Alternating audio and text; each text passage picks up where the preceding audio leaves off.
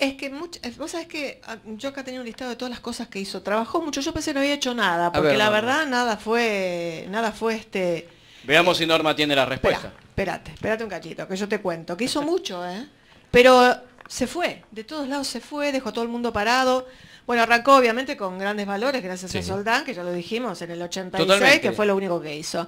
Hizo una pasadita así por Calabroma, que tampoco le dieron mucha bolilla. Fue panelista de Real, que tampoco tuvo éxito porque no le gustó a nadie. Y después en el 94 estuvo en una revista con Jorge Corona, que también se peleó con Jorge, la echó.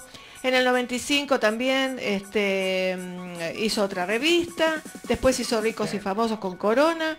Eh, no estuvo en otra obra teatral. Y de las dos, estas dos últimas se fue. Dejó todo parada la obra, no fue más, nunca se supo qué pasó, así que tampoco fue. Este, bueno, y así hizo con todo. Este, a ver qué otra cosita hizo acá que la abandonó. Ah, en el 2012, Asociación... Ah, fue una revista también, eh, que inventó hacer ella, Asociación Ilícita se llamaba por lo del arrímolo, y también la abandonó. O sea que, bueno, lo último que hizo fue en el 2004 y nunca más nadie la volvió a llamar. Digo, de todo porque eso, ¿hubo abandona algún éxito? todo. ¿Algún éxito hubo? No, porque yo ni lo reconocía, Por por eso, lo estoy leyendo porque ni sabía que había estado. ¿Y entonces todo con qué autoridad ningunea? No lo sé. Bueno, Como dijo Ale, los grandes aparte tienen humildad. No, totalmente los grandes tienen humildad. Y yo te digo, si a mí me hubiera tocado venir, venir a la vida para ser un tipo súper famoso, eh, siempre voy a elegir comenzar de abajo y no colgarme de nadie, y mucho menos de vos.